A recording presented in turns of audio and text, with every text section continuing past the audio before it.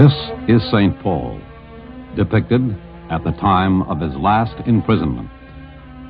It was during this time that he wrote his second epistle to Timothy, wherein he again instructs and admonishes Timothy and warns him to shun the conversation of those who had erred from the truth. St. Paul tells Timothy of his approaching martyrdom and death. In this second epistle to Timothy, he writes in chapter 4, verses 5, 6, and 7 Be thou vigilant, labor in all things, do the work of an evangelist, fulfill thy ministry, be sober, for I am even now ready to be sacrificed, and the time of my dissolution is at hand. I have fought a good fight, I have finished my course, I have kept the faith.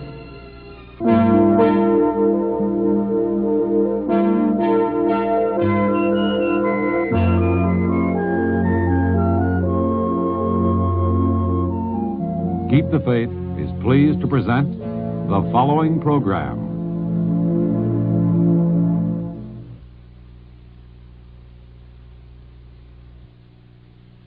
the Father and of the Son and of the Holy Spirit. My very dear friends in Christ and our Holy Mother Mary, so very, very good to be back together with you again. Every pope in this century, including our present great Holy Father, Pope John Paul II, has warned us that we are in the last days of the world. The Bible, both in the Old and New Testament, foretells in many places about a climactic and catastrophic end of the world.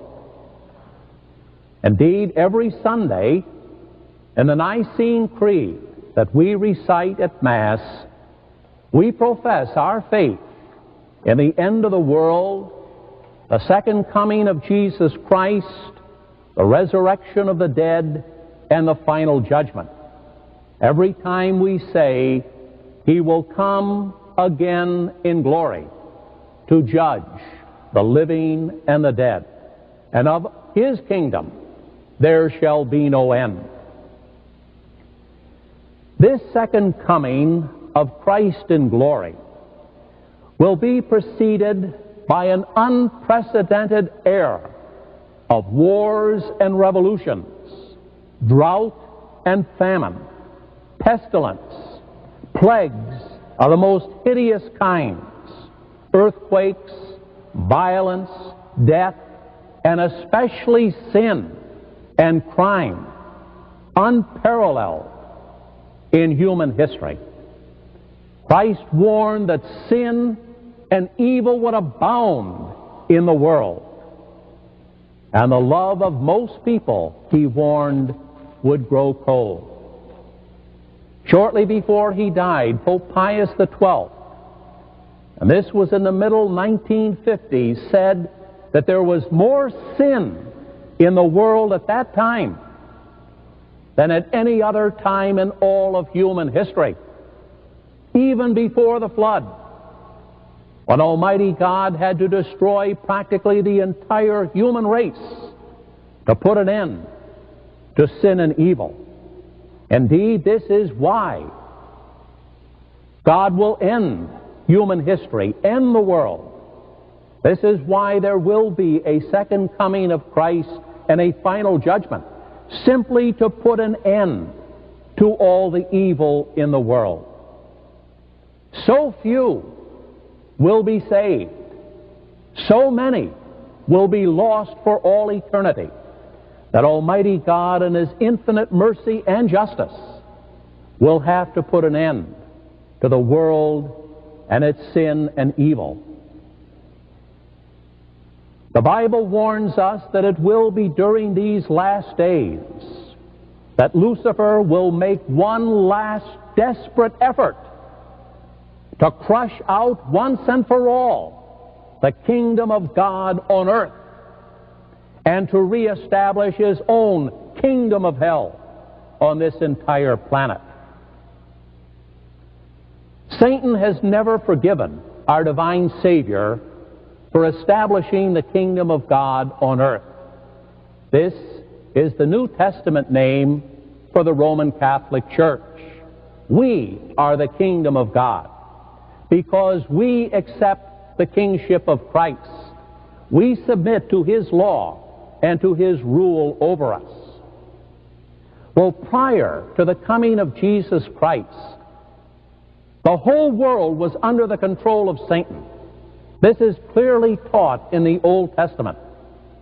And that is why in the ancient world there was so much war, there was so much slavery and sin and rape and pillage. Even our Lord referred to Satan as the ruler, the prince of this world. And his apostle, St. Paul, went so far as to call Lucifer the God of this world, because he is the one who is worshiped by the greater part of this planet. So he has never, Satan has never forgiven our Lord for interrupting his control of the entire world. And for the past 2,000 years, he and all his minions in hell have done everything they possibly can by persecution, by internal revolution, by heresy, by schism, everything that, that they can to crush out this reign of God on earth established by Jesus Christ. And that is why our Lord warned, He who is not with me is against me. We are in the midst of a cosmic struggle between good and evil. There is no neutral ground. Oh, your atheists say, well, we want to get rid of God. Uh, we just want to do our own thing. We just want to build our own heaven on earth. We want to be neutral. There is no neutrality. If we are not for Christ, we are against Him. If we are not fighting in the kingdom of Christ, then we have been duped into the kingdom of Satan.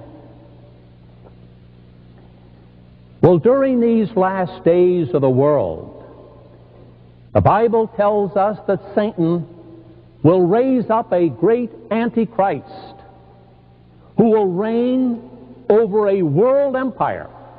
He will enslave the entire world under his power and then will unleash a horrendous persecution of the Catholic Church and a reign of terror, the like of which history has neither known nor imagined. In addition to taking over the world, he will take over all religions. He will subdue all churches. And he will combine and amalgamate them into one great world religion. And eventually make every human being bow down and worship him as God under penalty of death by starvation. This Antichrist of Lucifer will not be the Lord Maitreya of the New Age movement and Benjamin Creme. No, it will be someone else who will come not out of the Middle East, but out of Europe. I think this Lord Maitreya is merely a tactical feint to distract us from the real Antichrist who perhaps at this very moment is preparing to make his appearance on the world scene. This Antichrist is foretold specifically by St. John the Apostle in his first two epistles. And John warns us that the Antichrist will be preceded and prefigured by many, many Antichrists just as our Lord was prefigured by many great men in the Old Testament. The patriarch Joseph, the prophet Moses, the great King David, all prefigured one or another of the great qualities that would be combined in Jesus Christ. Well, Satan loves to ape God. So his great Antichrist will be preceded by many many Antichrists who will give us a foretaste of what he will be like. Henry VIII would be an example of a mini Antichrist because he stole all of England away from the mystical body of Christ. He took the church in England and made it into the church of England. Napoleon Bonaparte will be another example of a mini Christ. And in our own century, Vladimir Lenin embodied uh, very well all the evil and malice that will be found in the Antichrist. And last but not least, Adolf Hitler. Of all of them, the most perfect example of what the Antichrist will be when he comes. In chapter 13 of his Apocalypse, St. John describes the reign of this great Antichrist and the ways in which he will come to power and gain control over the world. He is called the Antichrist because he will do everything within his power to dethrone our Lord and Savior Jesus Christ and to take Christ's place as the God man and as the only true Savior of the world. This is why there is such a tremendous effort today to downgrade Jesus Christ. Uh, this motion picture, the so-called The Last Temptation of Christ, is part of the effort of the Antichrist and his minions to dethrone Jesus Christ. The reason Satan wants to dethrone our Lord is so that he can ascend and take his place.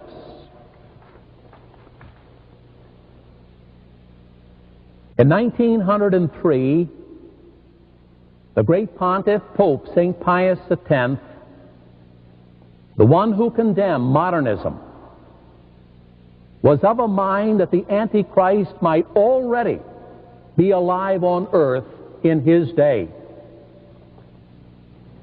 Pope Pius XII, in his Easter message of 1957, said that the signs predicted in the Bible that would usher in the Antichrist were already fulfilled, and that the last judgment was near at hand.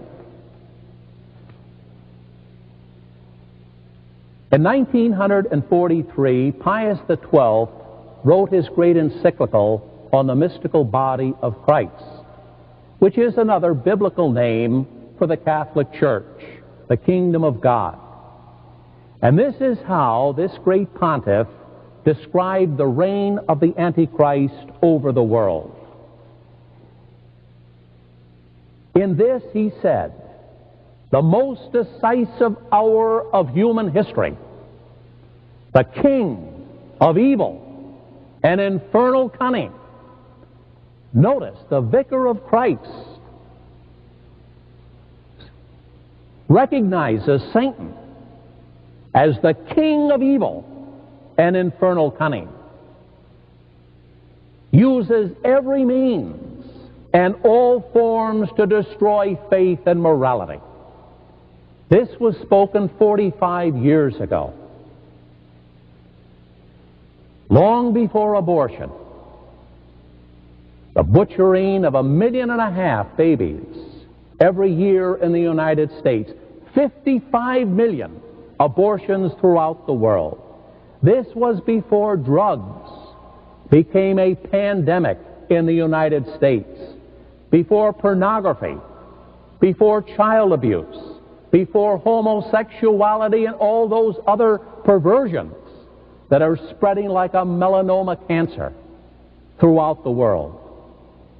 Satan, the pontiff, warned us, uses every means and all forms to destroy faith and morality. And finally, he concluded God and the evil one have come to grips in a gigantic duel. The battle, the most bitter, the most ferocious the world has ever known, has been joined.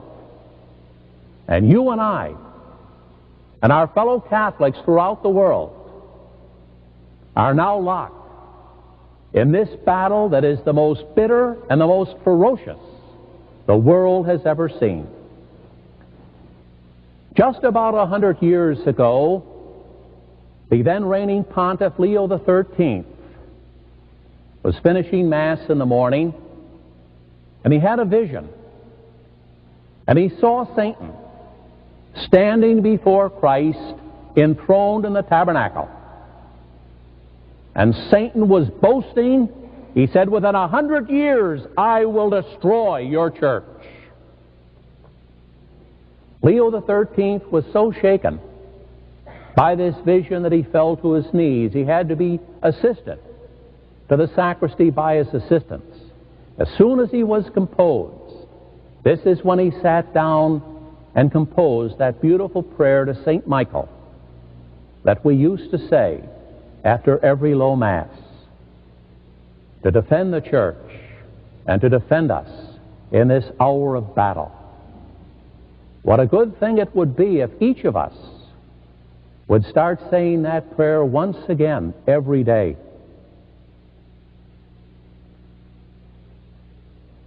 Yet, the prophet Daniel in the Old Testament, chapter 12, verse 10, he warned that when the great Antichrist finally did appear on the world scene, the vast majority of mankind would be taught totally unaware that his reign was beginning.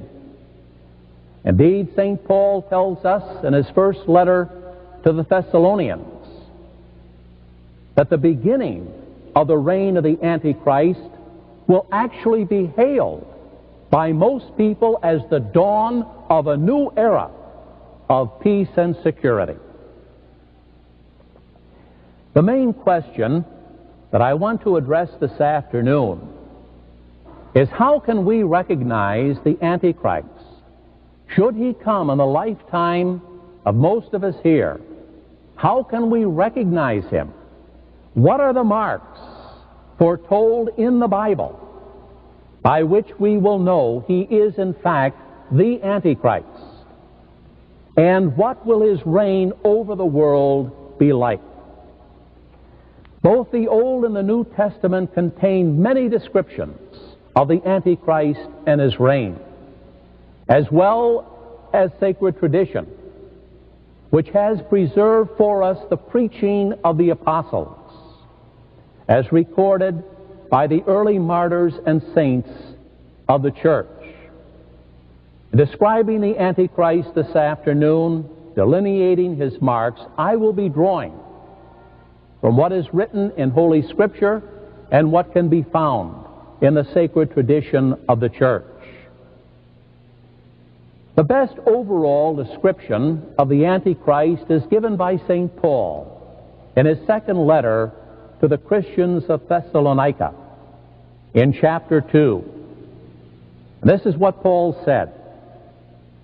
Now concerning the coming of our Lord Jesus Christ and our assembling to meet him, that day will not come until the apostasy comes first.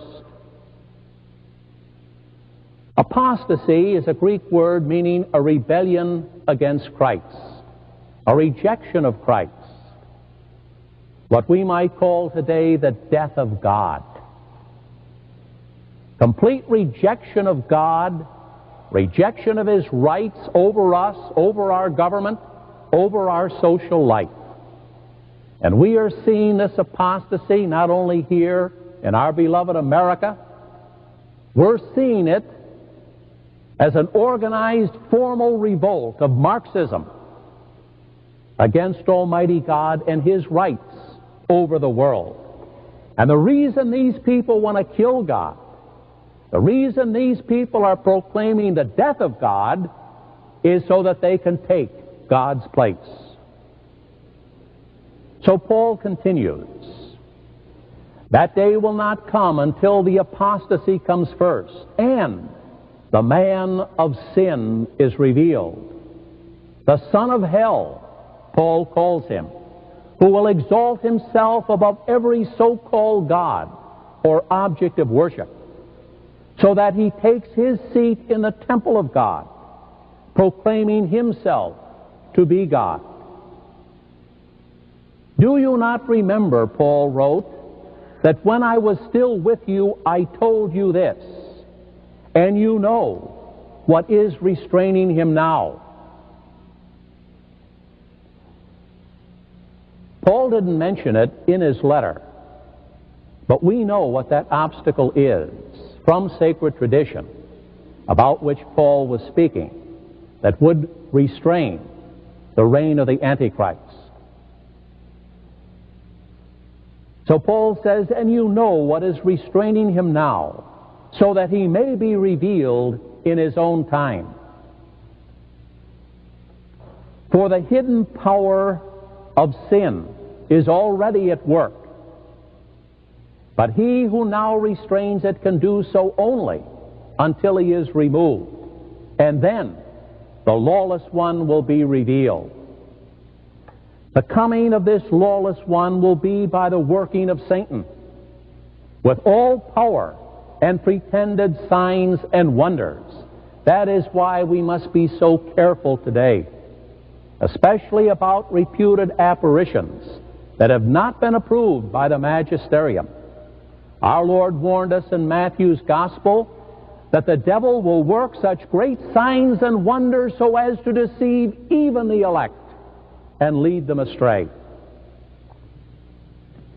With all power and pretended signs and wonders, and with all wicked deception of those who are to perish, because they refuse to love the truth and be saved.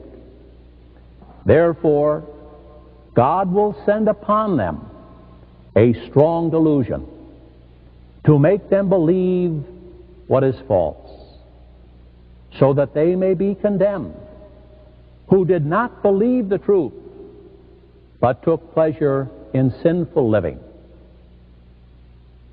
The reign of the Antichrist is a punishment from God upon a sinful and rebellious mankind.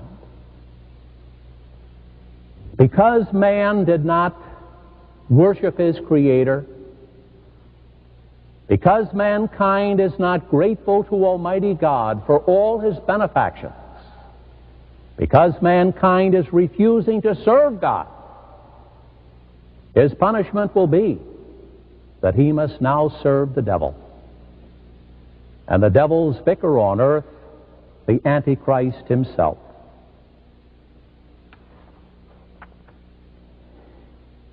The restraining obstacle which previously held back the reign of the Antichrist, according to sacred tradition, was the Gentile occupation of Israel and the holy city of Jerusalem. The Antichrist will become the supreme ruler of Israel, the state of Israel. This is what that acronym, or that number 666 means. It stands for the king, the ruler of Israel. Well, so long as Palestine and the city of Jerusalem were in Gentile control, it would be impossible for the Antichrist to be hailed as the king of Israel. Indeed, it is the unanimous teaching of sacred tradition, the fathers of the church, that the Antichrist will be accepted as the long awaited Messiah by the Jewish people. As our Lord warned them in the fifth chapter of John's Gospel I came in my Father's name, and you did not receive me. But another will come in his own name and him you will receive. Yes, because they rejected the true Messiah. They must now accept the false Messiah, the Antichrist, as their Savior. That is why it was impossible for the Antichrist to appear before 1967, when the Jews recaptured the holy city of Jerusalem. Indeed, it began in 1946 when they recovered part of the Holy Land and set up the new state of Israel. In 1946. And that's why a year later, in his Easter message, Pope Pius XII said that the reign of the Antichrist could begin at any moment. The Antichrist will suddenly make his appearance on the world scene, emerging out of seeming obscurity. Once again, Satan, who is the ape of God, will have his Antichrist be the ape of the true Christ. Just as our Lord had a hidden life in Nazareth for 30 years before he began his public ministry, so the Antichrist will be hidden and seemingly obscure the early part of his life, and then, like the true Christ, he will suddenly appear on the world scene. The Antichrist will be a man of unsurpassed ability. He'll emerge as a great world leader, not by the sword, not by military means, but by diplomacy, by the eloquence of his speech. He'll be a man of brilliant intelligence, having a solution to every human problem. He'll have a mesmerizing eloquence that will stir vast crowds of people, bring them to their feet cheering, begging him to become the ruler of the world. An excellent example was the mini Christ Adolf Hitler. Few realize that Adolf Hitler came to power through the ballot box. His Nazi party received the majority vote in a parliamentary election. And therefore, Hitler, as the head of the party, was appointed the Chancellor of Germany by President Hindenburg. Then Hitler proceeded to take over Austria. He took over Czechoslovakia. He united Romania and Italy in his Axis power.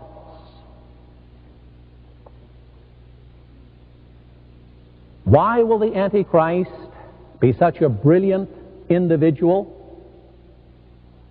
Because the Bible and the Fathers tell us he will be totally and perfectly possessed by Lucifer himself. The Antichrist will actually be the person of Lucifer. It will be a kind of, of incarnation on his part. It won't be a true incarnation. This requires a divine power. Only God can become truly incarnate. But Lucifer will so possess the body and soul and faculties of this human being that the human person will be totally suppressed in a state of complete unconsciousness, and it will be Lucifer walking on this earth.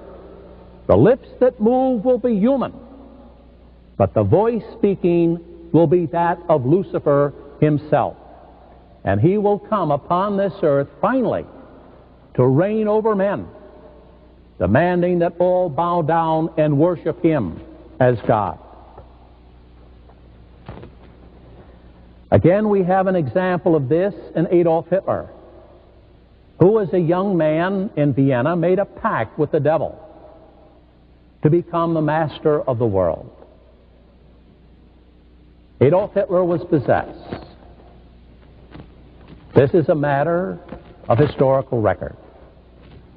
This is why an individual of such mediocre talents, he was a paper hanger. He made his living by drawing postcards and selling them to tourists in Vienna. And yet he became the master of practically all of Europe.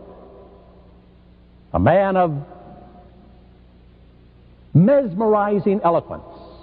He hypnotized vast throngs of party members who, after every speech, would jump to their feet, shouting and yelling, Heil Hitler! Heil Hitler! Well, that was the demon who had possessed Hitler and who was ruling Germany. Adolf Hitler made the officers in his SS take an oath to Lucifer.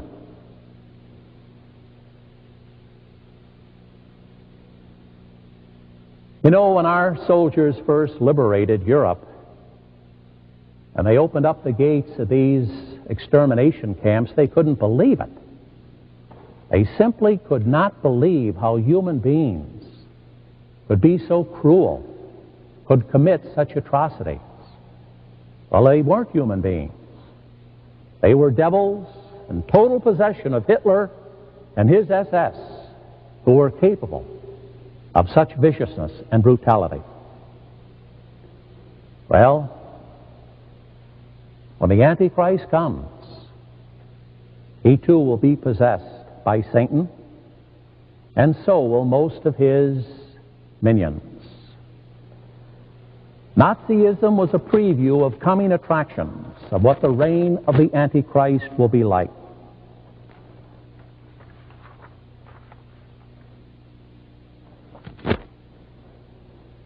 Possession is not at all like that movie, The Antichrist. That was hyped up and glamorized by Hollywood. They wanted to make a horror picture. And I'm personally convinced that Lucifer is already the chairman of the board in Hollywood. He's the one who's calling the shots there today. And so perhaps he wanted this hyped up, sensationalized movie to deceive people about what possession is really like. It's not like that at all. Who also was possessed. And this priest, in following the spirituality of the divine milieu, the phenomenon of man, this poor priest got himself possessed under the control of a demon and was totally unaware of it. And the irony of the situation was that the priest who was appointed by the bishop to exorcise him was also possessed, and he didn't know it either. And he had been his professor in the seminary, the exorcist, and who had introduced this young priest into Teilhard de Chardin. And through following his spirituality and his ideas, even the exorcist discovered that he had fallen under the mind control of Satan. There are various degrees of possession.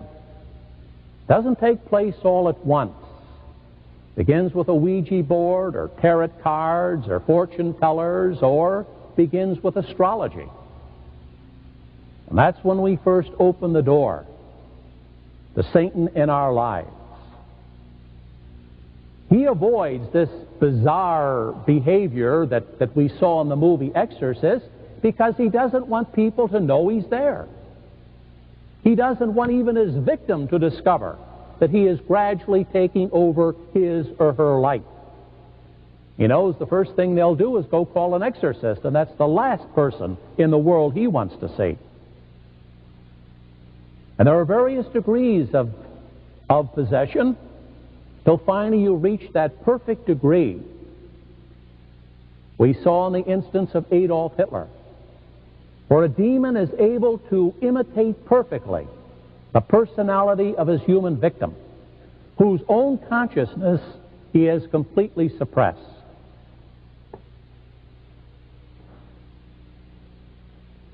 And according to Marilyn Ferguson, in her book on the New Age movement, the Aquarian conspiracy, and of course, according to your own Mrs. Constance Cumby here in Detroit. There are far more people possessed today than we realize. All these new methods of meditation, Eastern spirituality, are really short courses in how to get yourself possessed. Transcendental meditation, EST, Erhard Seminar Training, Silva Mind Control, biofeedback, yoga, stress management programs, techniques, New Age spirituality, the mind sciences, anchor hold, which is being introduced as a form of spirituality among Catholics, A Course in Miracles. All of these are methods to get oneself under the control of a demon. Silva mind control, I can speak from experience. I started to take his program. I was talked into it by another priest. They don't tell you in the beginning that eventually they're going to have you communicating with higher intelligences from out of space. This is all part of the occult. You're not told in the beginning what you're getting into. Until finally you reach a point, I'm afraid, where it's too late. Well, one weekend of that, I got as far away from those people as I could get. Father Matthew Fox, a Dominican, has established out in California his center for creation centered spirituality. This is simply another technique to get oneself possessed. This is why he brings in people like Starhawk, a registered witch, to teach in his program. It's basically a reversion to paganism, to nature worship to the worship of creation. And that is the very trap into which Teilhard de Chardin himself fell.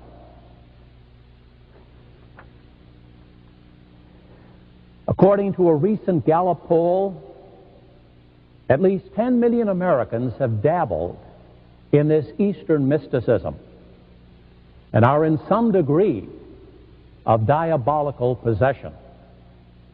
Well, these are the shock troops, the advanced troops of the Antichrist, who will be marshaled under his flag when he unleashes his reign of terror on the earth.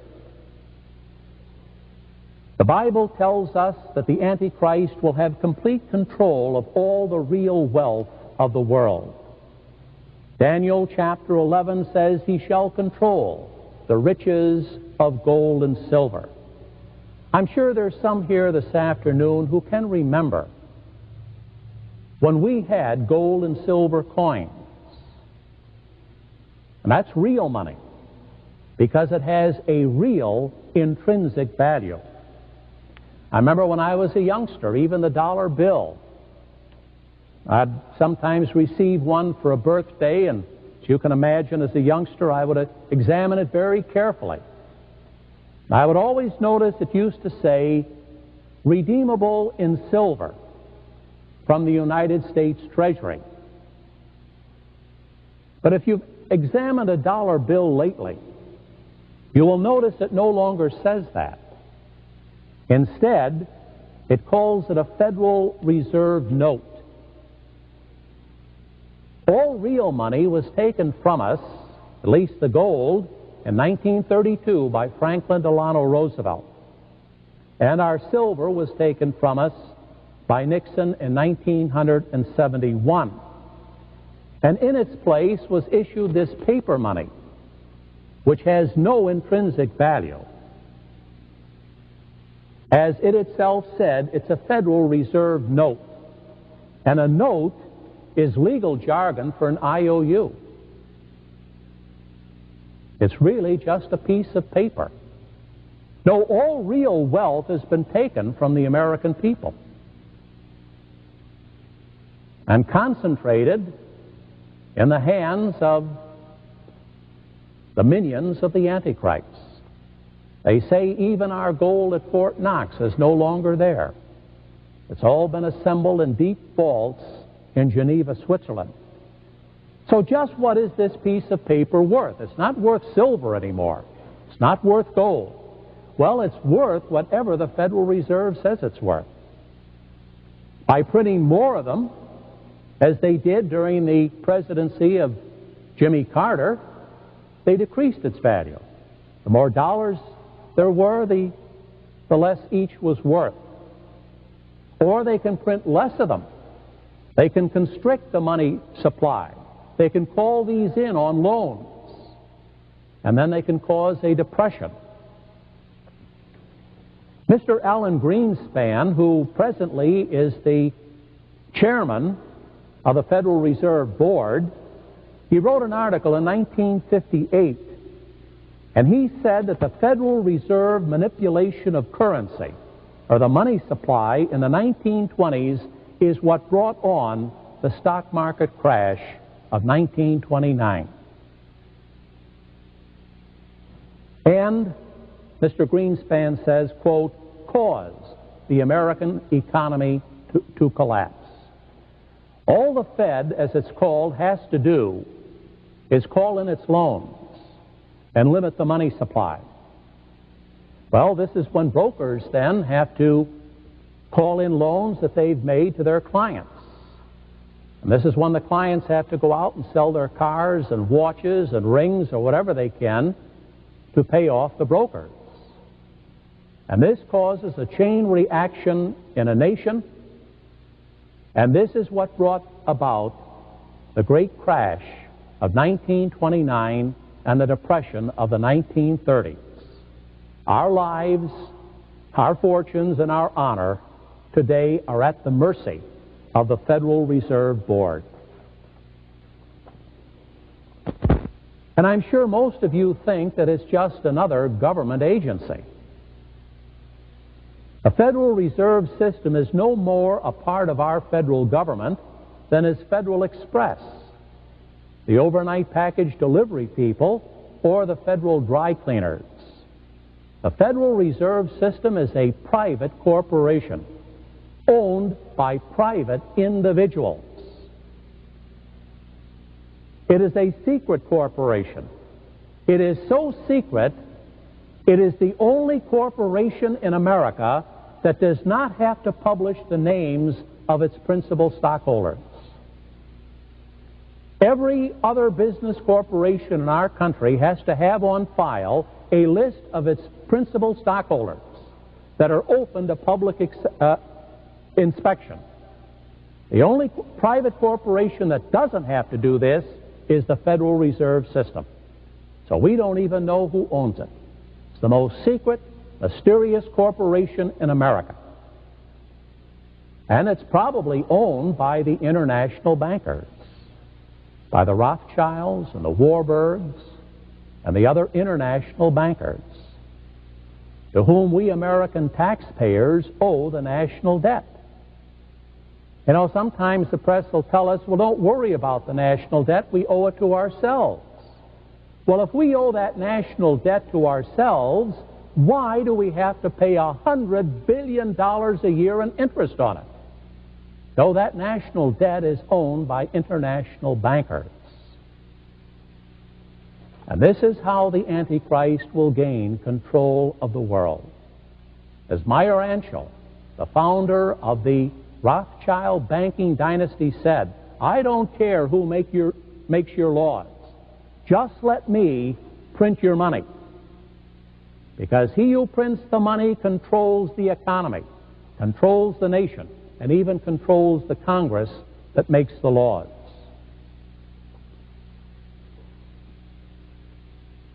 The Federal Reserve System is so secret you cannot even audit it. Now, every corporation in America is open to audit by the federal government. In 1978, a congressman introduced a law in Congress to audit the Federal Reserve. It's never been audited. But he wanted to find out what they're doing with all our money and why they've imposed this tremendous debt on the American people. By the time that law got through Congress, and was passed, it said just the opposite. The Federal Reserve may not be audited. That tells you the control the Federal Reserve has over our Congress. That it can take a law introduced by a congressman and make it come through exactly opposite to what was intended.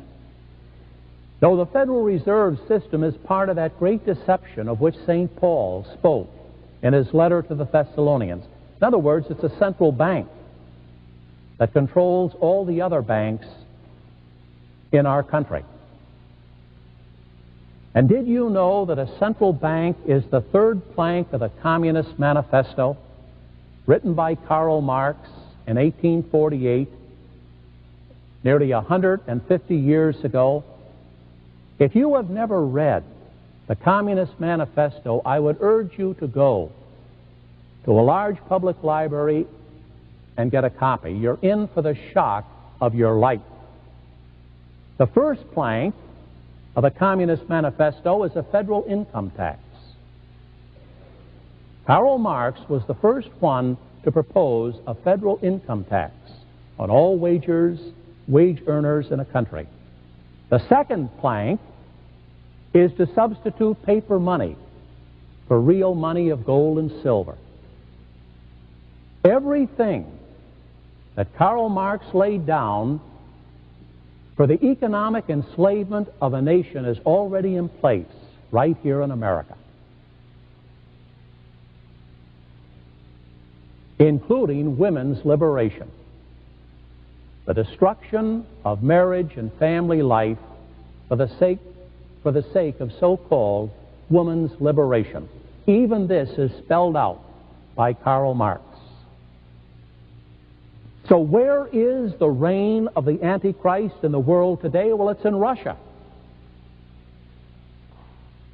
where you have the economic enslavement of an entire people. It's in China, where these people are nothing but slave laborers for the Communist Party. The reign of the Antichrist is in Cambodia, where three million Cambodians were slaughtered by their own government. It's in Vietnam, it's in Laos, it's in Poland, Czechoslovakia, Yugoslavia, and right here in the United States. We are under the Communist Manifesto already. And this is what Daniel warned us about. He said most people would be totally unaware that they were being taken over by the Antichrist. When did our beloved America fall under the control of the Antichrist? We know the exact date. January the 23rd, 1973, when our Supreme Court enacted the death penalty against 20 million helpless babies in our country by abortion. This was a sign that we had fallen under the control of the Antichrist.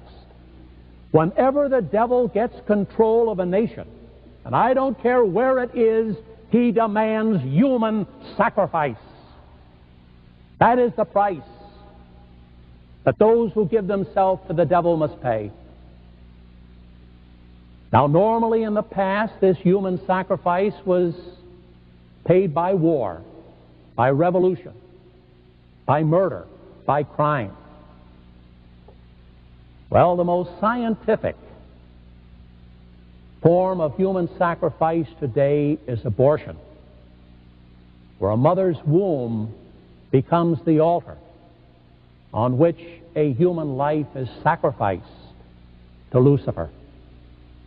According to Solzhenitsyn, the communists have already killed 66 million of their own people in Russia, either through war, execution, or slave labor camps. That is the price that the communists paid to Lucifer and to his Antichrist. So, where is the reign of the Antichrist today? Well, practically two thirds of our planet has already been subjected to his power and authority. And as far as the rest of the world goes, it is just a matter of time. The World Bank will see to it that every other nation is brought to its knees through inflation, through a huge national debt. Everybody will be enslaved to this World Bank whose chief executive is the Antichrist. The Bible and tradition also warn us that the agents of the Antichrist will infiltrate the Catholic Church and will take over its visible structures. I'm afraid this is what we are seeing today, not only in America, but throughout the world. The Antichrist will take over our schools and use them to teach modernism, which is the religion of the Antichrist. He will take over our colleges, our once great Catholic colleges. He will infiltrate and take over our chancery office, our parish offices, our United States Catholic Conference, and the like. This is described by St. John in the Apocalypse chapter 12. The woman clothed with the sun and the red dragon, who drives the church underground, who persecutes the church. And then in the following chapter 13, John warns us of this false prophet who will arise. And all the fathers of the church tell us the false prophet will be a Catholic bishop, an apostate bishop, who will join the Antichrist and help him in his rule over Catholics.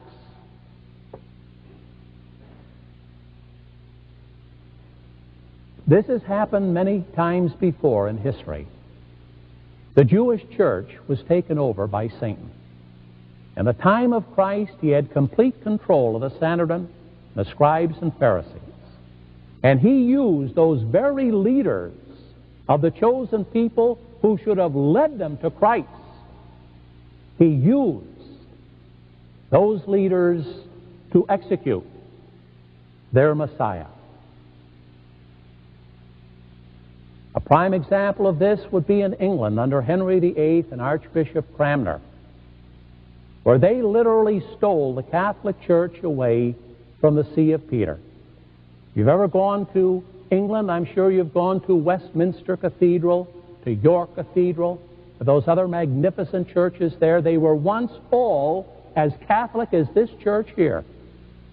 And they were all stolen by Henry VIII and Archbishop Cranmer when they broke away. And 95% of Catholics went right along with that many antichrists. All of the clergy, all of the priests threw in with that many antichrists. And every bishop in England, except one, John Fisher, who was beheaded, threw in and joined that antichrist and stealing the church from the vicar of Christ. Well, how will his minions take over the church? By infiltration. This is their battle cry. If you can't beat them, join them. We have been infiltrated by Masons for, well, ever since their foundation, over 200 years ago. This is why our once beautiful liturgy has been so watered down. Archbishop Bugnini was a Mason.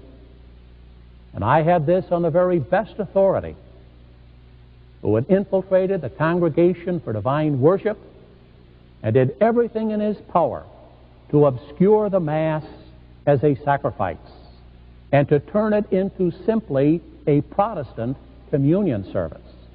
Now, our Mass and our new liturgy is valid. If said by a validly ordained priest with the right intention, the Mass is still valid.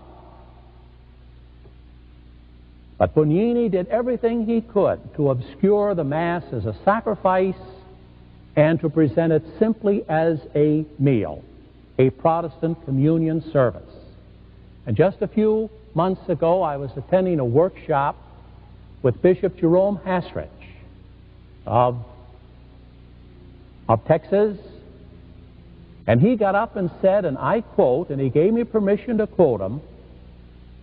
He said, The ICEL, the International Commission on English in the Liturgy, is trying to Protestantize our Catholic Mass. Unquote. You know, they've got a new sacramentary, a new missal in the works. And I'm sure that when that does appear, they promise it before the end of the century, they will do away completely with the Mass as a sacrifice. Oh, they'll keep a lot of the vestments and other external accoutrements. They'll try to pretend it's still the good old Catholic Mass, but it will be nothing more than a Protestant communion service. And Daniel, the great prophet Daniel in the Old Testament, warned the Antichrist will do away with the everlasting sacrifice. This will be the mark of the beast by which we will recognize him. He will do away with the Mass as a sacrifice of Christ on Calvary and substitute in its place a Protestant communion service.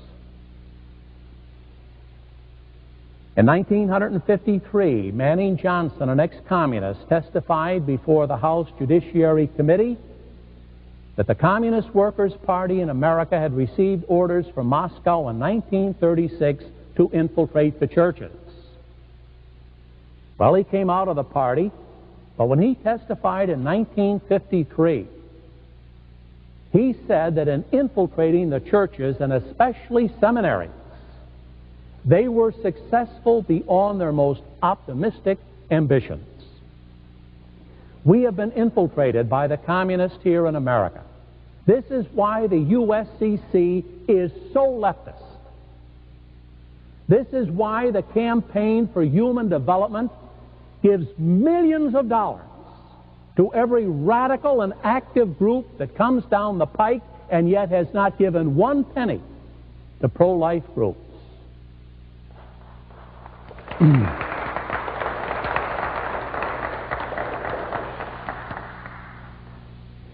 this is why liberation theology, which is nothing more than Marxism in Christian terminology, has replaced the gospel of our Lord and Savior Jesus Christ. The Catholic Church has always also been thoroughly infiltrated by homosexuals.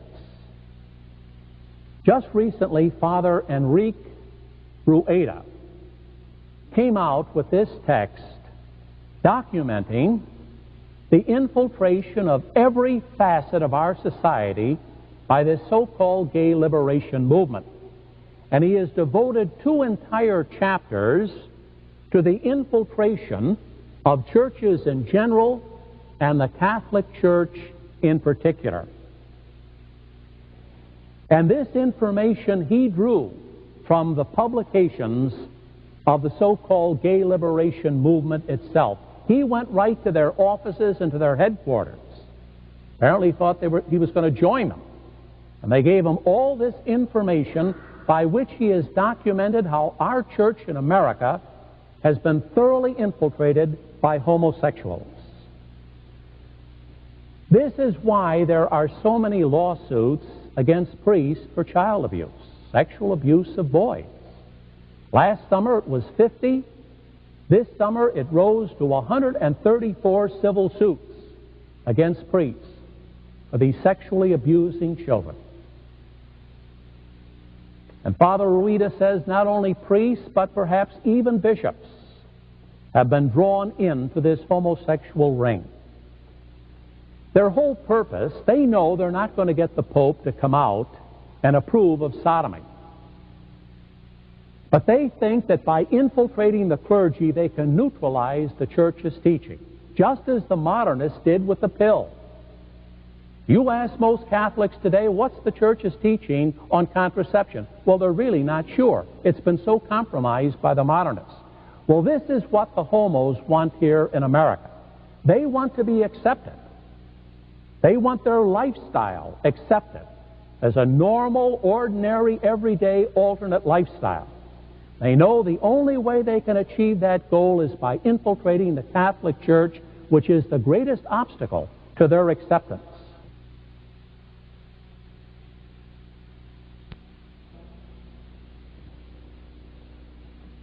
Father Rueda points out how the homosexuals have infiltrated religious orders.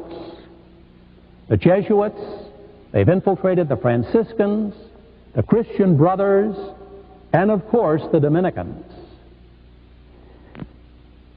When I was in the seminary in the early 1950s, my superior in the seminary said at that time we were being inundated by homosexuals. And he was doing his best to weed them out. He wrote a letter pleading with our major superior to help him. The letter was never answered. So he wrote a letter to our provincial council pleading with them for help to weed out these homosexuals. They never answered his letter. I'm afraid that we had been so taken over by communists at this time, they rejoiced to have us infiltrated by homosexuals.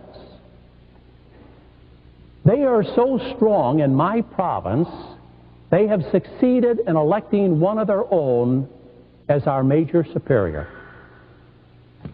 Donald J. Goergen is mentioned three times in this book by Father Rueda as one of the national leaders of the homosexual movement and infiltration in America today. Two years ago, he was elected the major superior of the Central Dominican province. That shows you how strong the homosexuals are in the Dominican order. It's so bad today that a good boy can't even get in my province. I've talked to some of the finest young men I have ever met who were turned away from our novitiate. They wouldn't let them in. No, to become a Dominican in the central part of America today, you've got to be effeminate, or at least you've got to approve of homosexuality as an alternate lifestyle. And of course, as Mrs. Constance Cumby has so well documented, we've been invaded by New Agers and by modernists. And modernism, as she has explained so well, is the religion of the Antichrist. Well, who are these agents of the Antichrist in the Catholic Church today? Their name is Legion. Father Teilhard de Chardin, Father Karl Rahner, one of the Parituses at Vatican II. Indeed, he's the man who destroyed those five great schemas that John the 23rd had prepared. Before the council even convened, Pope John the 23rd had five beautiful schemas. The one on our Blessed Mother was going to proclaim her mediatrix of all graces. These were all sabotaged by Fa Father Karl Rahner. Father Hans Kung, another peritus. Gregory Baum, who still teaches at a Catholic college, St. Michael's in Toronto. Father Charles Curran of Catholic University. Richard P. McBrien, Richard McCormick of the University of Notre Dame. I went to Notre Dame as a young man. It was there I received my vocation of the priesthood. But I would not send my son there, or my nephew, or my niece. Raymond Brown, the so-called scripture scholar. Father Eugene LaVerdiere, another scripture scholar of the Catholic Theological Union. Father Matthew Fox, who's teaching this creation centered spirituality, was, which is simply a, a do it yourself course in getting possessed. And of course, Donald J. Goergen, a major superior of the Dominican order here in the central United States. He's working on a five volume work that he calls Christology. It is nothing but rank modernism. I went to a lecture of his just to see for myself what he's teaching. When he raised the question, Is Jesus Christ God? He responded, Yes, because we're all gods. Remember Shirley MacLaine out on a limb, I am God? Yes, this is the war cry of the New Age movement. We're all gods. So a New Ager is the major superior of the Dominicans in the central United States. Again, this illustrates how powerfully they have infiltrated the church. Well, now the final question is when. As the disciples asked our Lord in Matthew's Gospel, chapter 24, when, Lord, will all these things come to pass? Happily, we have a timetable from the devil himself. In the middle 1880s, he vowed that within a hundred years he would destroy the Catholic Church. Well, from where I stand, he has just about succeeded. We also have Michael Nostradamus, who was kind of a satanic Daniel. Nostradamus was possessed too. He had all these symptoms of clairvoyance. Uh, he could cure people. Well, he wrote a kind of book of Daniel. Again, the devil tries to ape God, outlining Satan's game plan for his Antichrist and the takeover of the world.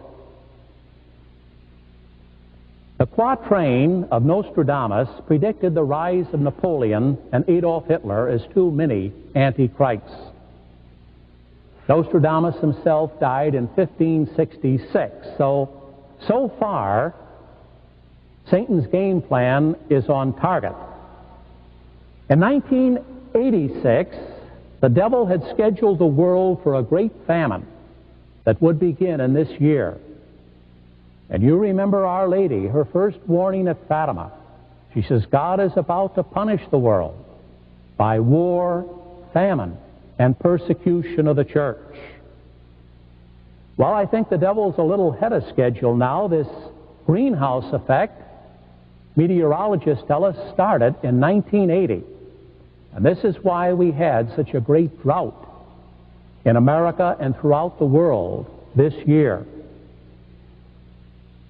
In 1988, the devil has the world scheduled for many violent earthquakes.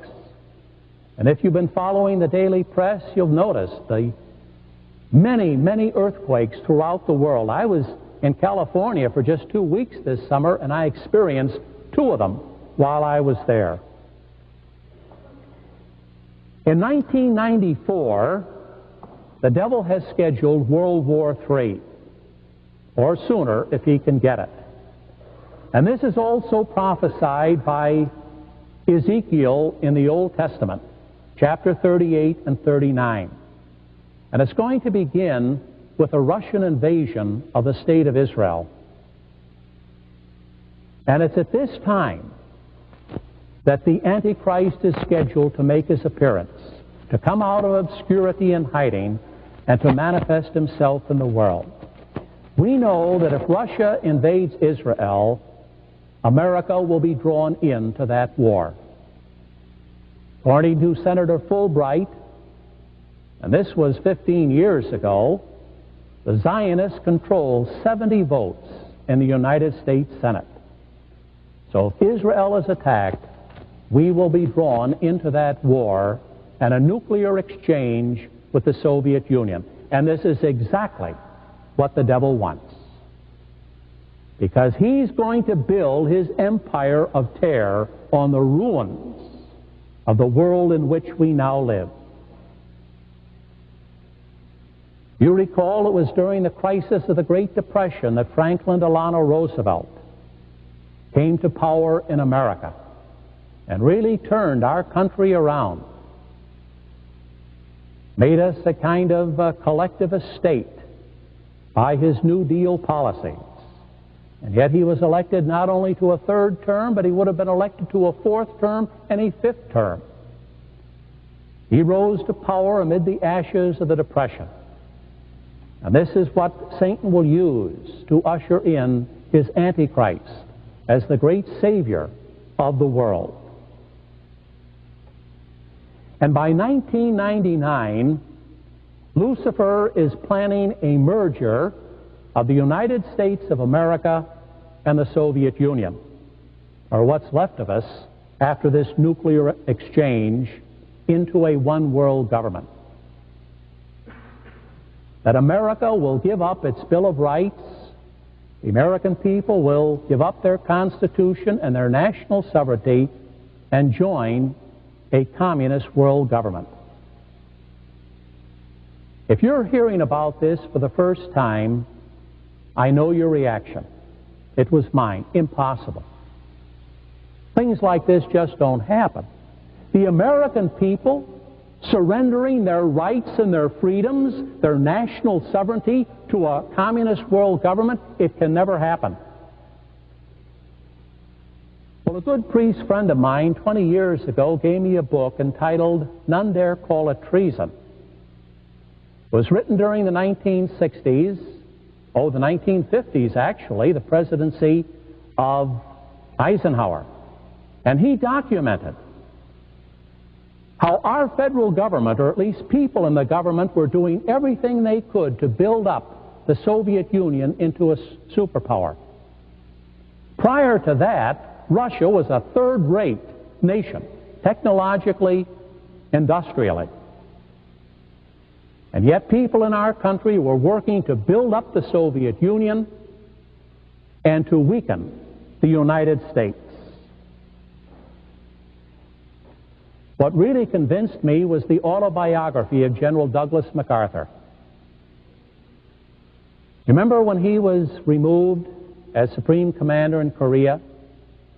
He was ordered, and this is in his own words, his own biography, he was ordered to withdraw entirely from Korea. You remember he had conquered all of Korea, south and north. He was right up to the Yalu River. And President Harry Truman told him to withdraw, to surrender the entire peninsula to the communists. General Douglas MacArthur refused to abandon the graves of his dead soldiers who had given their lives, and that's why he was fired and removed. Our government did not want us to win in Korea. This is why we lost the war in Vietnam. Our army could have won that war in six weeks if our government let them. But they put so many restrictions on our fighting forces, they actually made it impossible for them to win in Vietnam. They wanted that war to drag out so that the American people would get so disgusted with it, they would want no more war and would be willing to surrender to this world government. This is why Senator Joe McCarthy was so smeared by the press. Joe McCarthy was a, a courageous Catholic man, but he was getting too close to exposing these men in our government, these traitors who are trying to sell us out to a communist world government. And who are they? Harry Hopkins, assistant to FDR. Harry Hopkins not only gave the Kremlin the plans for the atom bomb, in Lend Lease, he shipped over all the materials to make it and the materials to build the factory in which they would make it. Harry Dexter White, Alger Hiss, Dean Rusk, former Secretary of State, Robert S. McNamara, the Secretary of Defense in Vietnam, David Rockefeller of the Chase Manhattan Bank, Dr. Armand Hammer, of Occidental Petroleum has become a billionaire selling our technology to the communists, building them up as a superpower in the world. Our present Secretary of Commerce, C. William Verity, he held a meeting of 400 American industrialists that is so secret that not even our press can find out who those 400 American businessmen are. And the whole purpose of that meeting was to transfer wholesale our technology to the communists. We not only give them our technology, we give them the money to buy it. The World Bank is financed by you taxpayers. And they loan the money, our money, to the communists to buy our technology. And what makes these men so dangerous is that they actually think they are doing us a favor. This is how they propose to bring about nuclear disarmament and make the world safe. They'll tell us that only by joining a world government can we have true peace throughout the world.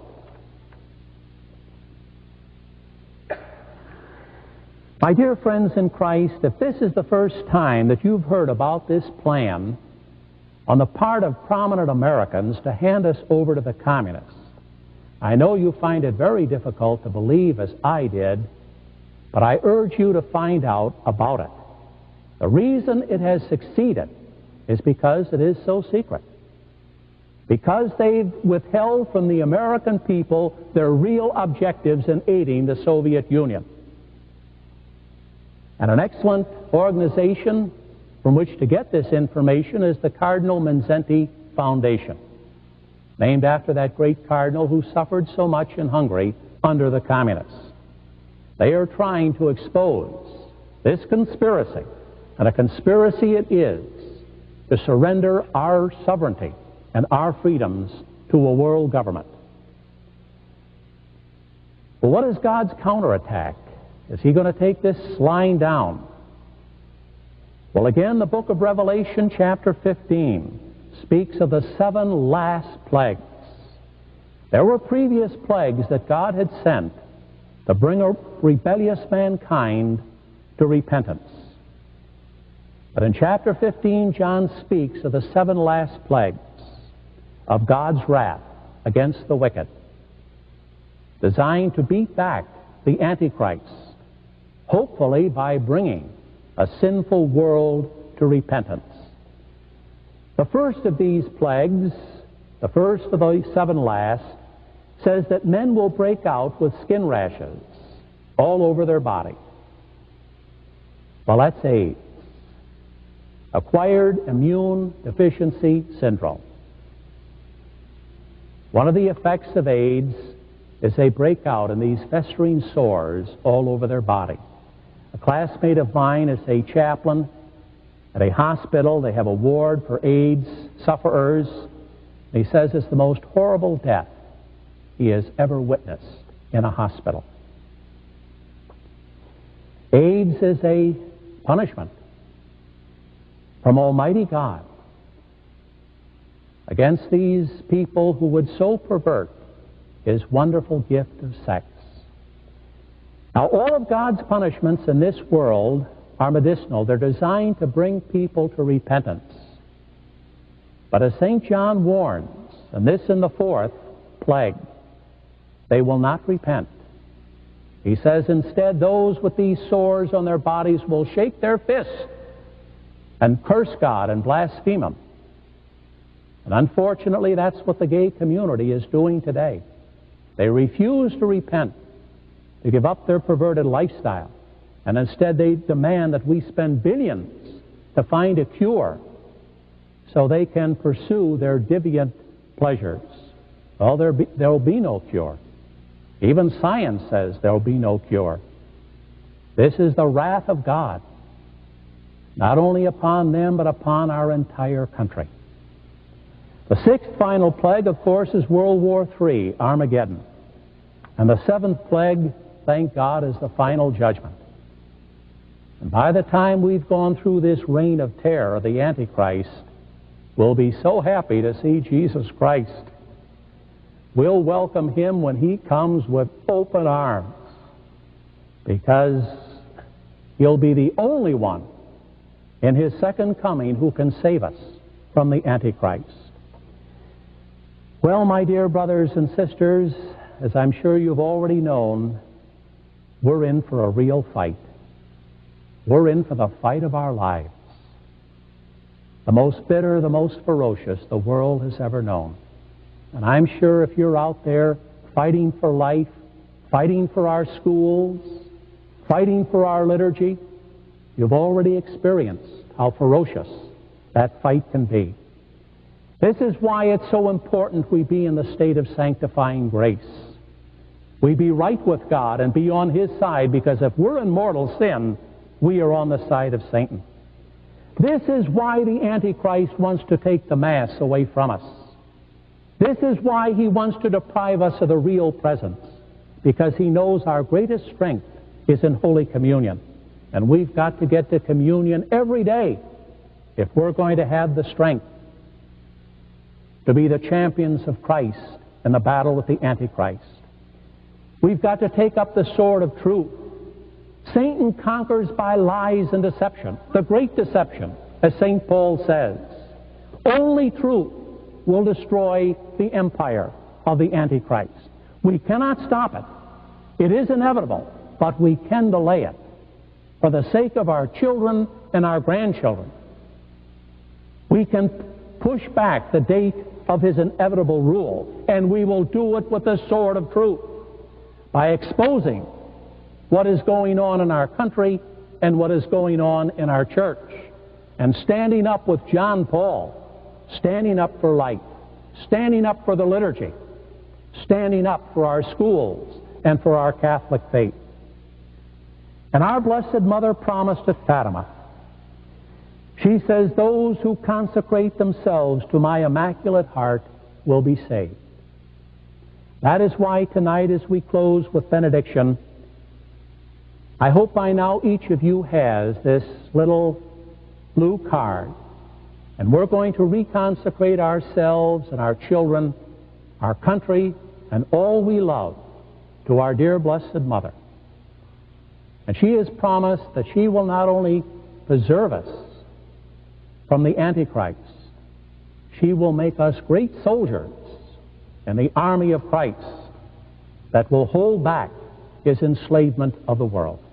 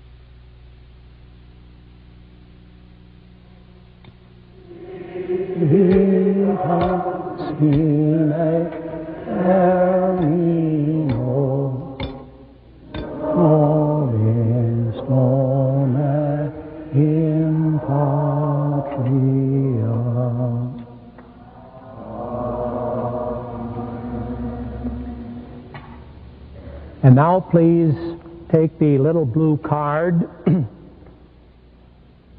before the most blessed sacrament and the Sacred Heart of Jesus.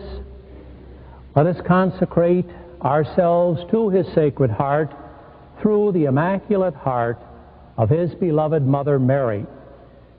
You'll notice after the first paragraph, there are some dots there. We're going to pause for a moment of silence where each of us then can add those special people and undertakings that we want to commend to Our Lady's Immaculate Heart.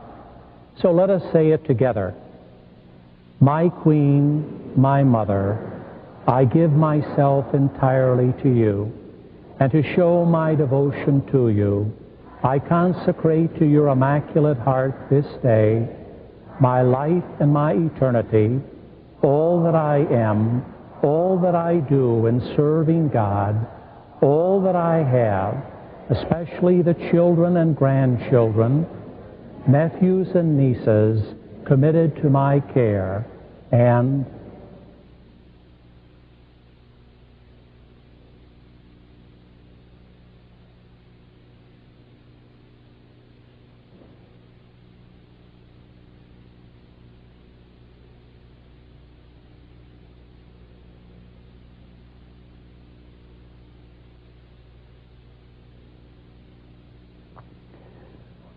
Wherefore, good mother, since we are your own, keep us and guard us as your property and possession, free from sin and harm.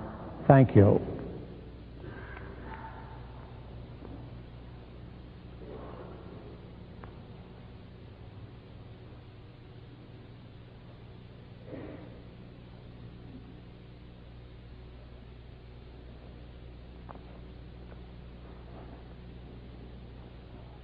Let us pray.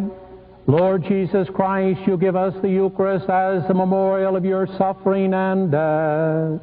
May our worship of this sacrament of your body and blood help us to experience the salvation you won for us and the peace of the kingdom where you live with the Father and the Holy Spirit, one God forever and ever.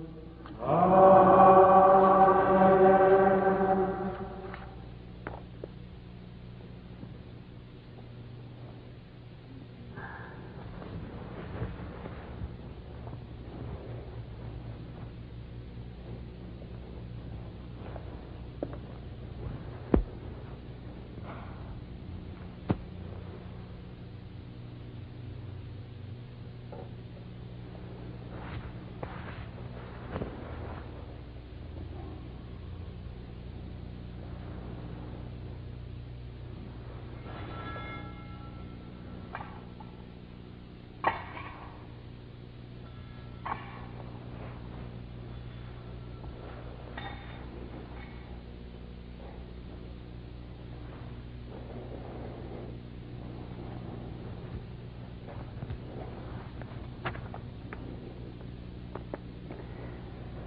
now let us recite the divine praises together in reparation for blasphemies against God and against his saints. Blessed be God. Blessed, blessed be his holy name. Blessed be Jesus Christ, true God and true man. Blessed be the name of Jesus. Blessed be his most sacred heart.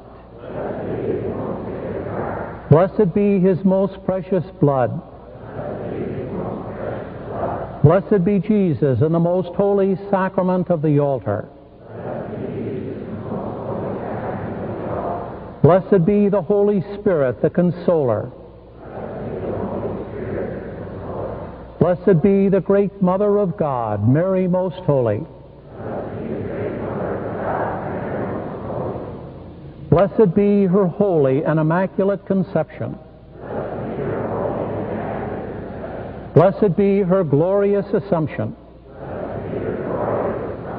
Blessed be the name of Mary, Virgin and Mother.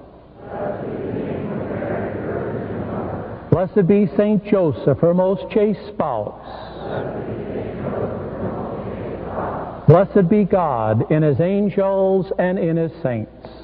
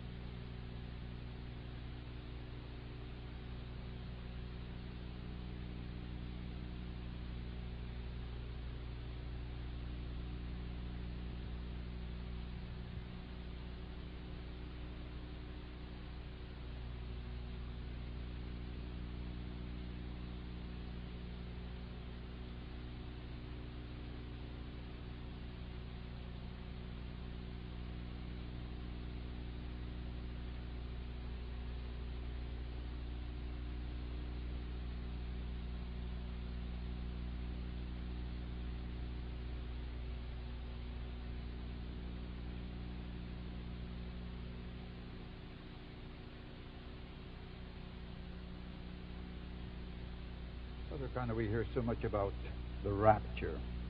What, uh, what about the rapture? What do you think about it? I think there, there isn't going to be a rapture. There is nothing in sacred tradition. Uh, there are, are several passages in Scripture that could possibly be interpreted in that way, but the only authentic interpreter of Scripture is sacred tradition and the magisterium. Actually, no one ever heard of a rapture until around 1850 when a Protestant woman in Scotland uh, said that Christ appeared to her and promised a rapture so that uh, his followers would not have to go through the, the Great Tribulation. But like so many of these alleged apparitions, I suspect this is just a trick of Satan and uh, part of his great deception and make, making people think that, well, we, we haven't begun the Great Tribulation because we haven't had the rapture yet.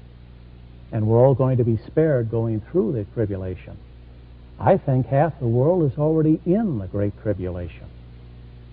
And I think the rest of us are going to have to stay here and go through it ourselves. All right, now, St. John speaking so much about Antichrist. Is there any way of stopping the Antichrist? He is prophesied his coming. There's no way that we can stop him. He will come eventually, but we can delay his coming. He will gain control, as Daniel says, through cunning and deception. If we can expose his machinations, if we can expose what he's trying to do in taking over our church and taking over our country, we can delay his coming. Uh, we can put a monkey wrench in his game plan for taking over the world.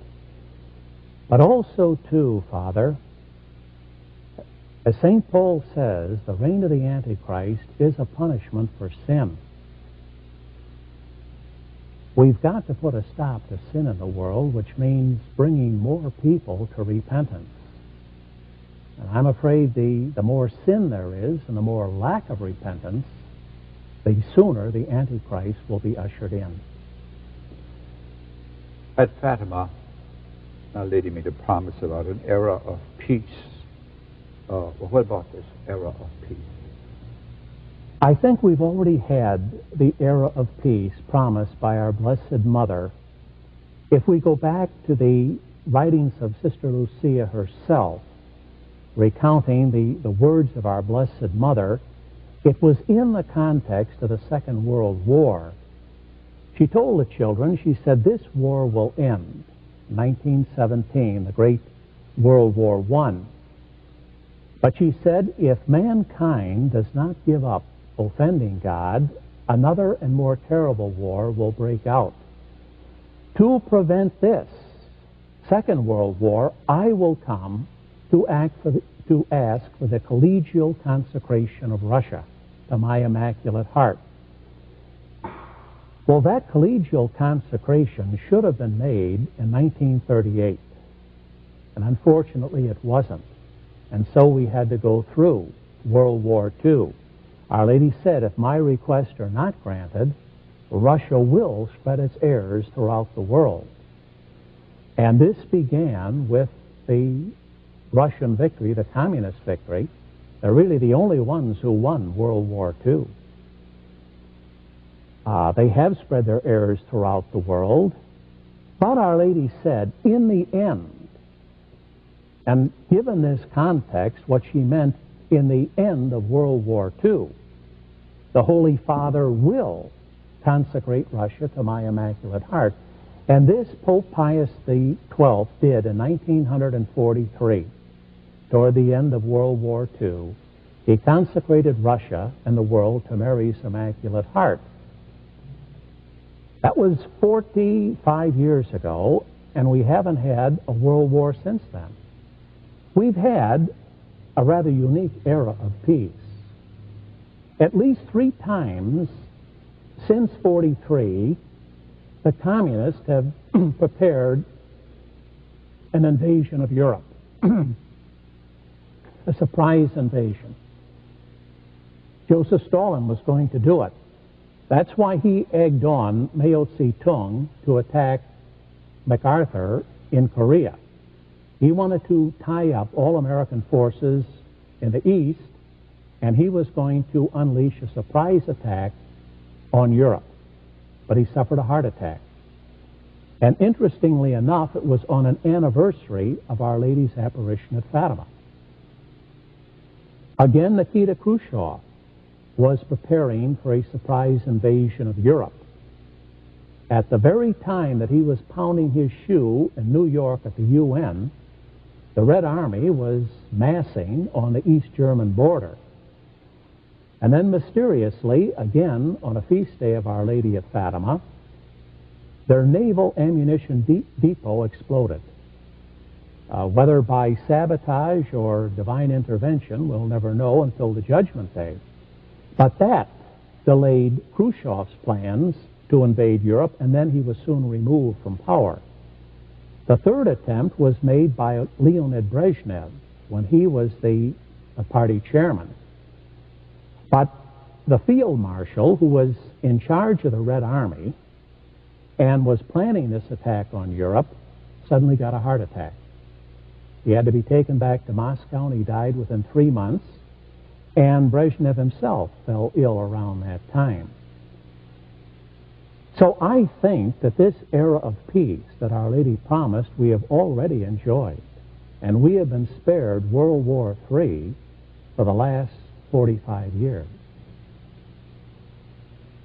In Second Thessalonians, they talk about the um, great deception. What is it that Paul means? As Daniel says,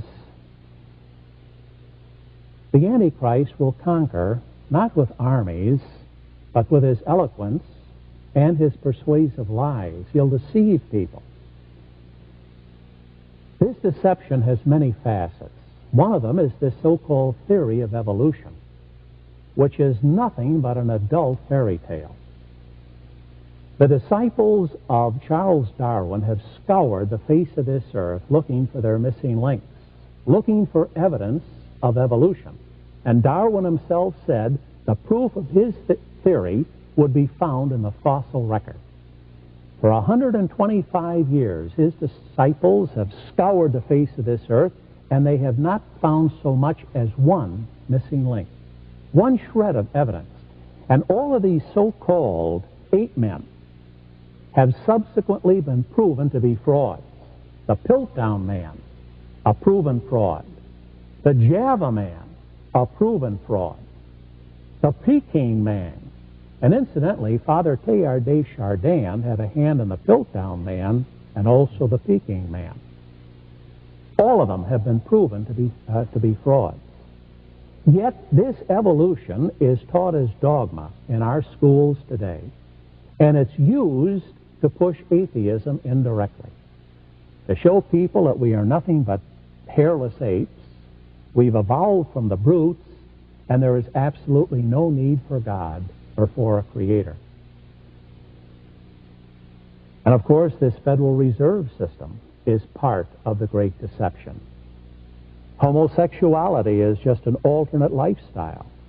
that people are born this way. It's due to their genes. Some are even boasting they're created that way by God. This is all part of the great deception. Woman's liberation. That by doing away with the divine institutions of marriage and family life and childbearing, we're going to liberate women. No, the Antichrist is deceiving people today by many errors. And if we're going to delay his ultimate control, we've got to expose his errors.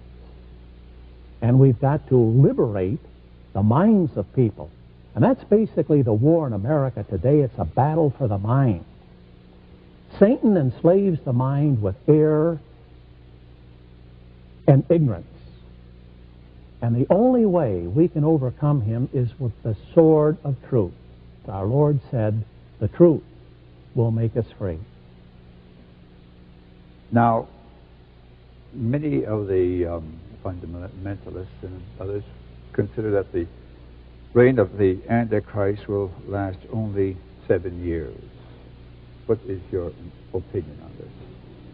Well, had St. John used any other number but seven, had he said six or eight or twelve, or even if he had just said six plus one or five plus two, we could have taken him at his face value. But seven was a mystical number in the Jewish mentality. And it symbolized, well, it goes back to God's creation of the world in seven days. So seven signified what we would say in God's good time, or whatever time it takes to get the job done. Now, it could be, his visible reign could be only seven years. But it could be more than that, too. Uh, certainly, he's been reigning invisibly for 70 years, ever since the Marxist overthrow of Russia. The Antichrist has been reigning in the world. Um, he's been reigning here in America through the implementation of the Communist Manifesto in our country. So I don't think we can say it will only be seven years, but we can pray that it will only be seven years. Good. And uh, what do you suggest in further readings on the magnificent talk you gave today? I think many Catholics are familiar with the books of the Bible Daniel, Ezekiel, the Apocalypse, uh, Matthew's 24th chapter. But I also had to draw heavily on the writings of the early Christians, what we call the fathers of the church, the early saints and martyrs. There's an excellent synopsis of the teaching of the fathers in this little pamphlet called The History of the Antichrist. It's available from Tan Books and Publishers, and they're headquartered in, in Rockford, Illinois.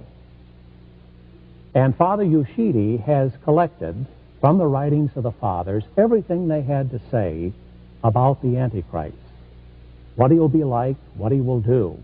This is an excellent little work. I bought it, oh, about 10 years ago, and at that time it was only a dollar and a half. Could possibly be somewhat more today. But anybody who would want to do further research on the Antichrist, I would begin with this. Because here we're in contact with the preaching of the apostles. Another excellent modern work is by Father Miceli, Vincent Miceli, entitled The Antichrist. I understand he has already come out with a sequel to this, and it's at the printers, and it should be at the press or at the bookstores very soon. Another book that I quoted in my conference, and which was certainly an eye opener to me, is this homosexual network by Father Enrique Rueda. You know, he writes a weekly column for The Wanderer. It may be difficult getting a copy of this book. It's quite a hefty tome, but really all one needs to read is chapter 6 and 7, where he describes the infiltration of the churches, and especially the Catholic Church, and even names names in here, of this homosexual network. But to get a copy of this, I think you will have to write directly to the publisher. It's the Devin Adair Company, A-D-A-I-R Company, 143, well, actually they have a P.O. box. It's P.O. Box A, Old Greenwich, Connecticut. And the zip on that is 06870. I think if you write directly to the publisher, they can send you a copy. Perhaps if the we write to the Wanderer, to Father Rada. To Father Rada, yes. The Wanderer, they get the copy also. Or possibly, if you've got a good, sa- uh, solid Catholic bookstore, they can order it for you. I also referred to Mrs. Constance Cumby, a very prominent Detroit lawyer, and her expose of the New Age movement, which is really a New Age religion. Anyone who saw Shirley MacLaine's miniseries, Out on a Limb, or has read her little book, uh, has the essence of this New Age religion. Uh, reincarnation. We've all had many, many past lives. Uh, we keep evolving to a higher state of consciousness through our karma in a previous life. Well, basically, it's Hinduism. It's Hinduism wearing a, uh, an American pinstripe suit. It's been introduced into our country. They began in 1893. Well, Mrs. Cumby has thoroughly researched this New Age religion, and she's published two books herself. The original was entitled The Hidden Dangers of the Rainbow, and then she too came out with a sequel entitled A Planned Deception The Staging of a New Age Messiah. As I mentioned in my talk, this Messiah that they are grooming, this Lord Maitreya, who supposedly is working in a suburb of London, England, right now, I doubt if he is the real Messiah, the real Antichrist, because it is also the unanimous teaching of church fathers that the Antichrist will be Jewish. And of course, he would have to be in order to be accepted as the long awaited Messiah of the chosen people. And we know the tremendous hatred the New Agers have for Jews. So, unless Lord Maitreya has deceived them into thinking he's a Gentile, it's my opinion that he is not the real Antichrist. I think he is merely a tactical feint, a maneuver to deceive us and to distract our attention from the real Antichrist, who is who will come out of Europe. You know, Europe is on the verge of uniting as a United States. And it will be the only survivor of World War III. If both the Soviet Union and the United States unleash their atomic arsenals on one another to save Israel, our nation and the Soviet Union will be in shambles. Europe will be untouched, especially if they get rid of the uh, Pershing missiles that we have there now, and they will in three years. There would be no reason for them becoming involved. So Europe and the United States of Europe